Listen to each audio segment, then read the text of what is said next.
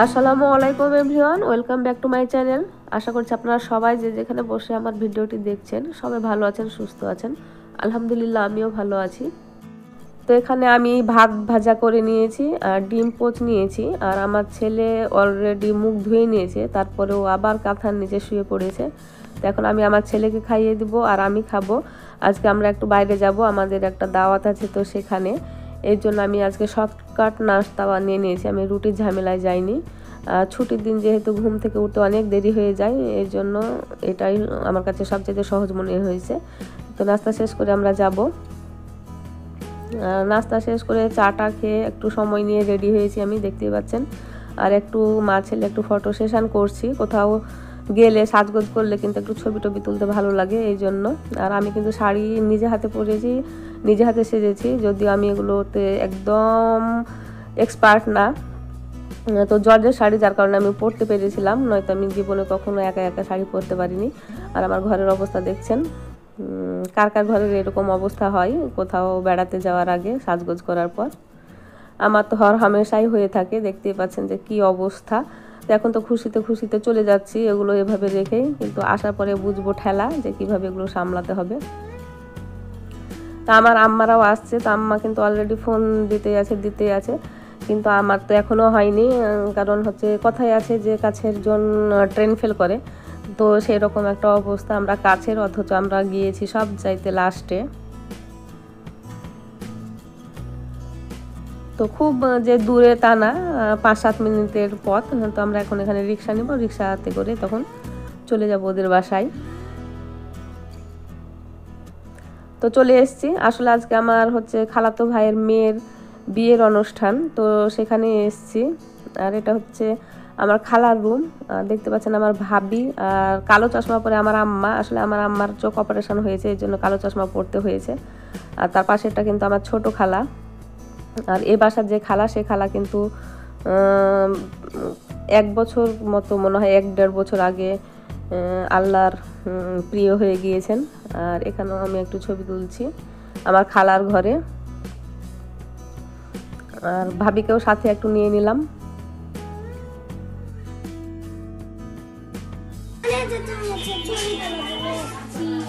বিয়ে বাড়িতে তো মানুষ ছবি তোলার জন্য আছে আর খাইতে আছে আর কি করতে আছে তাই না গা? এই যারা হাসছে, বুঝছ? চলো। তা আমার ছেলে হচ্ছে ছবি তুলবে না, তাই আমার ছেলেকে বুঝাচ্ছিলাম যে বিয়ে বাড়িতে আসলে এরকম একটা জায়গায়, এত সুন্দর করে সাজানো একটা জায়গায় ছবি না তুললে কেমন হয়? তো বিয়ে বাড়িতে আমরা সাধারণত ছবি তুলতে আসি আর খেতে আসি তার বউ দেখতে আসি, তাছাড়া তো আর কোনো কিছু কাজ নেই। তো এখানে কিন্তু এগুলো সব বরযাত্রী। তো এই যে এখানে প্যান্ডেল করে খাবার ব্যবস্থা করা হয়েছে। কোনো কমিউনিটি সেন্টারে বিয়ের অনুষ্ঠান হয়নি। কারণ খুব ছোট খাটো একটা অনুষ্ঠান হচ্ছে যে খুব যে বেশি বড় আয়োজন সেটা না। আর আমার খালাতো ভাইয়ের ধারণা হচ্ছে যে মানে বাইরে কমিউনিটি সেন্টারে যদি বিয়ের অনুষ্ঠান করা হয়, তাহলে দেখা যায় যে আত্মীয় স্বজনরা বাইরে থেকে খেয়ে চলে যায়। বা যদি বাড়িতে অনুষ্ঠানটা করা হয়, তাহলে দুই দিন, একদিন আগে থেকে সব আত্মীয় স্বজন আসবে। সবার সাথে দেখা হবে, সাক্ষাৎ হবে, আনন্দ হবে। তো এটা হচ্ছে সবচাইতে বড় ব্যাপার। এর জন্য সে কখনো কমিউনিটি সেন্টারের পক্ষপাতি ছিল না। তো ওখানে দেখতে পাচ্ছেন যে খাওয়া দাওয়া হচ্ছে। তো আমাদের জায়গা হয়নি। আমাদের দুই ছেলে, আমার দুই আম্মা আর খালা, ওরা শুধু বসার একমাত্র জায়গা পেয়েছে। কিন্তু কোনো সমস্যা নেই, আমরা পরে খাব। নিজের জায়গা, কোনো প্যাড়া নেই। তাই তো দেখতে পাচ্ছেন যে অল্প কিছু আয়োজন করা হয়েছে আর আমার ছেলে একা একাই আজকে খেতে ব্যস্ত। তো কোথাও অনুষ্ঠানে গেলে কিন্তু ও একা খেতে চায়, আমাকে বিরক্ত করে না, যতটুকুই পারে। একা খেলে কিন্তু খুব যে বেশি খেতে পারে তা না, অল্প একটু খেয়ে ছেড়ে দেয়। আর ও অন্য কিচ্ছু নাই না শশা আর রোস্ট, এটা দিয়ে কিন্তু আর হয়ে যাবে। তো এটা একদিক দিয়ে ভালো যে আমাকে সে জ্বালাতন করে না। আর এখন আমাদের বসার পালা, তো এগুলো সব আমার নানির বাড়ির আত্মীয় স্বজন। মামাতো ভাইয়ের বউ, মামাতো বোন, মামি মানে সব আমাদের আত্মীয়। তো সবাই একসাথে বসে পড়েছি। আর এক হাতে ক্যামেরা ধরে কিন্তু ফোন খাবার ছবি তোলা খুব ডিফিকাল্ট ছিল। আর চাপাচাপি করে বসতে হয়েছিল, যার কারণে আমি আর কোনো ভিডিও করতে পারিনি। আর খাওয়া দাওয়ার পরে যে একটু ঘোরাঘুরি করছি, বউ কিন্তু এখন পর্যন্ত আসেনি। পার্লারে অনেক সময় লাগছে তাদের। আর এই যে আমাদের মানিক জোড় একসাথে যদি পাই, তাহলে পারে কি না জানি তারা পেয়ে যায়। মনে হচ্ছে যে মানে খুশির সীমা থাকে না তাদের। তো অবশেষে কিন্তু বউ এসছে। বউ বলতে আমার ভাস্তি। তো সে এসছে, সবার সাথে ছবি তুলছে, বান্ধবীদের সাথে ছবি তোলা নিয়ে ব্যস্ত। আর ওদের বিয়ে কিন্তু আগে হয়ে গিয়েছে। এখন আমার ভাইয়াটা হচ্ছে বিদেশে থাকে, যার কারণে অনুষ্ঠানটা এখন হচ্ছে। আর সে কিন্তু খুব সুন্দরী। তো আমিও ওর সাথে একটু ছবি তুললাম।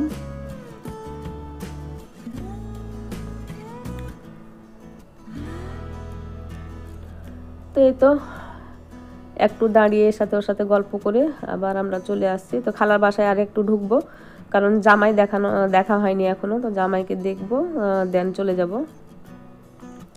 তো গেটটা দেখে একটু ছবি তোলার মনের মধ্যে যে স্প্রিহা কি বলে সেটা সামলাতে পারলাম না। আমার ভাবিকে বললাম যে একটু ছবি তুলে দাও, একটু ভিডিও করে দাও।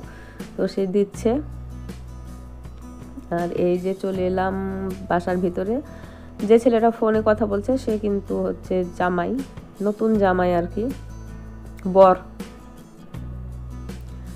তো ওখান থেকে বের হয়ে এখন নানির বাড়িতে একটু এলাম। নানি বাড়িতে আমার অনেক দিন যাবত আসা হয় না। মানে পাশেই থাকি, অথচ যে আসব তো সেই আশাটা হওয়ার সুযোগ হয় না। তো আম্মা আসলে বা ডাকে যদি আমাদেরকে কোনো মানে দাওয়াত টাওয়ার দেয়, তখন আসি। তাছাড়া এমনি যে ঘাস করে বেড়াতে আসব তা আসি না। আর এই নদীটা কিন্তু এক সময় আমার মানে খুব স্মৃতি জড়িয়ে আছে এখানে। খুব খেলতাম, গোসল করতাম।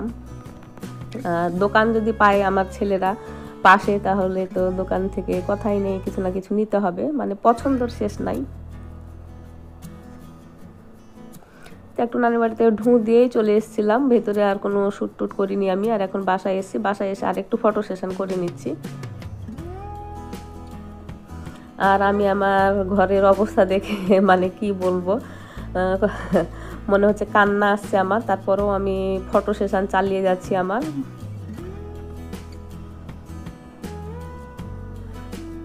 আসলে ভালো লাগে কোথাও থেকে এসে এভাবে ছবি টবি তুলতে। যাওয়ার সময়ও ছবি তুলি, আবার আসার সময়ও ছবি তুলি। তো আজকে আমি অলসতা করিনি, আমি চেঞ্জ করে কিন্তু সাথে সাথে ঘরটাকে পরিষ্কার করে নিয়েছি। দেখতে পাচ্ছেন যে একদম নিট অ্যান্ড ক্লিন করে ফেলেছি আমি আমার ঘর।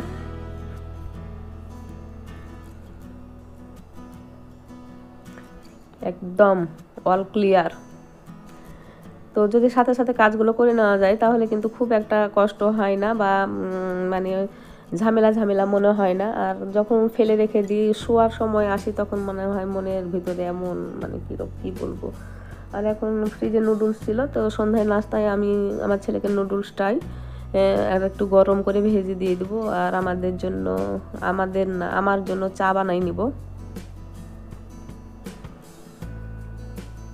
তা আমার ছেলে তো চিট পটাং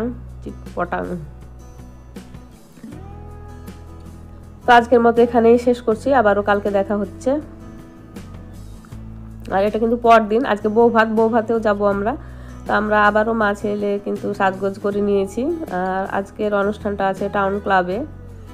তো আমার খালাতো ভাই কিন্তু ফোনের ওপর ফোন দিতেই আছে যে আমরা কখন আসি অলরেডি সাড়ে এগারোটা পার হয়ে গিয়েছে।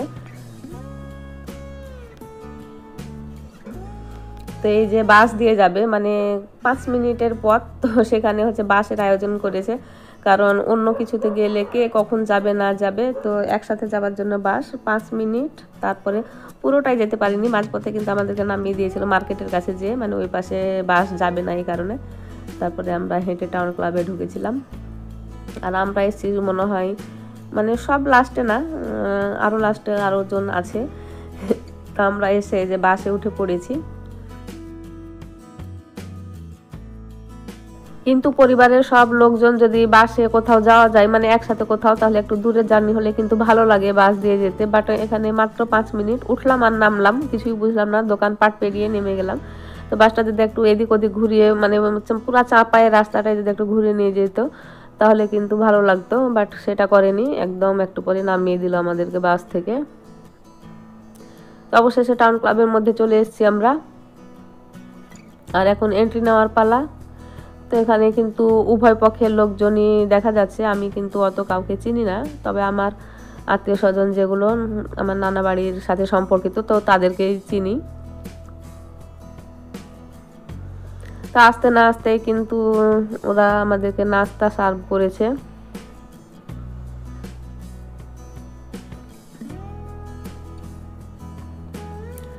তো এখানে দিয়েছে হচ্ছে কলিজা ভুনা লুচি আর দুই রকমের মিষ্টি আর পেয়ারা।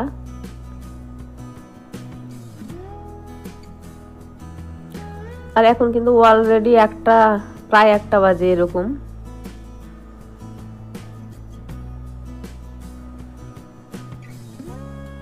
তারপরেও অনুষ্ঠানে কোথাও গেলে কিন্তু একটু খেতে হয়, খেতে দেয় এদিকে আর কি। আর আমার শ্বশুরবাড়ির দিকে দেখি যে বিকেলবেলায় বিয়ে যায়। সো নাস্তার আয়োজন ওদের থাকে না। বিকাল হোক আর দুপুর হোক নাস্তার আয়োজন থাকে না। একদম সরাসরি খাবার দেয় তারা। মানে দুপুরে লাঞ্চ তো নাস্তা শেষ করে আমরা একটু ওদিকে ওদিক ঘোরাঘুরি করছি। আসলে বাড়িতে বিয়ে হলে আত্মীয় স্বজন আশেপাশে থাকে বা এখানে ওখানে ঘোরা হয় চারদিক। আর এসব জায়গায় বিয়ের অনুষ্ঠান হলে কিন্তু আসলেও মোটেও জমে না। মেহমানের মতো বসে থাকো, দাঁড়িয়ে থাকো, নিজ নিজ লোকজনের সাথে একটু কথা বলো আর এখান থেকে বিদায় নাও। তো এই তো এটা হচ্ছে আমার খালাতো ভাই আর ভাবি। তো ইনাদের মেয়েরই আজকে বিয়ে হচ্ছে, আজকে বউ ভাত অনুষ্ঠান। তো আমার ভাইয়া কিন্তু বিদেশ থাকে আর এখানে সব অন্যান্য খালাতো ভাইয়ের বউরা, তারপরে খালাতো বোনরা সবাই ফটো সেশন করছে। একই ফ্রেমে বন্দি হচ্ছে সবাই, কারণ সব সময় একসাথে কিন্তু হওয়া যাই, হয় না। আর এখানে আমরা মা ছেলে একটু ছবি তোলার চেষ্টা চালাচ্ছি, যেখানে যাই সেখানেই খালি ছবি তুলতে থাকি। আর এই যে বর বউ এসে গিয়েছে। আজকেও দেরি, অনেকটা দেরি করে এসছে ওরা, কারণ পার্লারে আসলে কি যে সাজায় না সাজায় জানি না। অনেক অনেক সময় নিয়ে কিন্তু সাজায়। বউ সাজার সময়টা কিন্তু বেশ কয়েক ঘণ্টা হয়। যার কারণে মানে আত্মীয় স্বজনের সাথে সেভাবে কথাবার্তা হয় না। আর আস্তে না আস্তেই দেখতে পাচ্ছেন যে সব ফটোগ্রাফাররা ঘিরে ধরলো। এখন ওদেরকে দিয়ে পুতুল নাচ নাচাবে। এদিকে ঘুরো এদিকে ঘুরো, ওইদিকে ঘুরো সেই দিকে ঘুরো। হাত এখানে দাও। কি প্যাড়া।